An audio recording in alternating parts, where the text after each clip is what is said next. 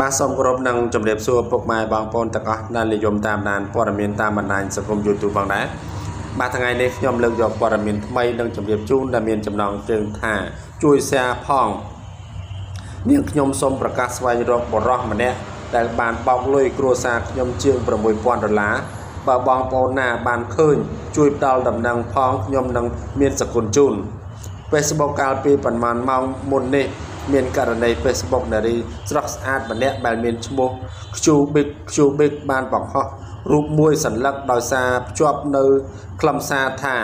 មានបងប្អូនណាស្គាល់ពួកពូក្នុងរូបថតនេះអត់ឈ្មោះច័ន្ទសំណាងបើមានបងប្អូនណាស្គាល់សូមជូនដំណឹងមកខ្ញុំផងគាត់ជាជាងឡានឆ្នៃបាទសូមទោសគាត់ជាជាងឡានឆ្នៃ គាត់បានបោកប្រាស់យកលុយពីគ្រួសារខ្ញុំអស់6600ដុល្លារហើយបានរត់បាត់ឡានក៏មិនឃើញលុយមិនបានមនុស្សរត់បាត់បើបងប្អូនណាបានឃើញខ្ញុំនឹងជូនសគុណមានអត់មានលេខទូរស័ព្ទ097 735 4800 093 771708 បាទឥឡូវបរិះម្នាក់នេះគាត់បានបោកលុយបាទ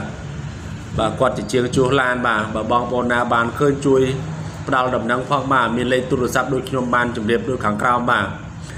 បាទសូមថ្លែងអំណរគុណប្រិមិត្តដែលបានតាមដានព័ត៌មានបាទសូមកុំភ្លេចជួយ Like Subscribe និង Share និងសញ្ញារូបកណ្ដឹងដើម្បីទទួលបានព័ត៌មានថ្មីៗទាំងអស់គ្នាបាទសូមអរគុណនិងសូមជម្រាបលា